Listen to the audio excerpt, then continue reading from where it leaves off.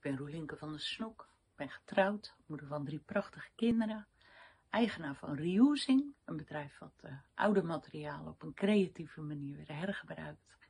En daarnaast ben ik oprichter van Stichting Delen en Meer. En hebben we een ontmoetingsplek in Almere Buiten, waar jong en oud en arm en rijk samen leuke activiteiten doet.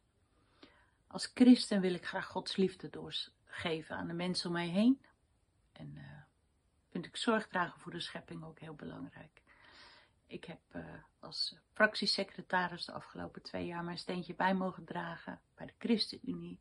En voor de komende jaren hoop ik samen met een sterk ChristenUnie-team te bouwen aan een stad waarin iedereen zich thuis voelt en waarin iedereen zich kan ontwikkelen.